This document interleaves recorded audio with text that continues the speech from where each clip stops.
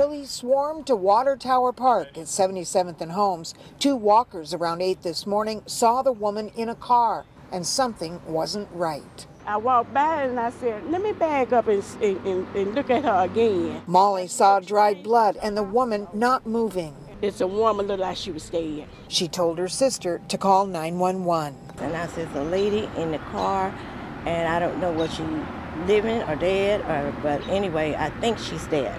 Ironically, the sisters were out walking yesterday and saw the woman then too, but they say she was fine and sitting in her car smoking a cigarette.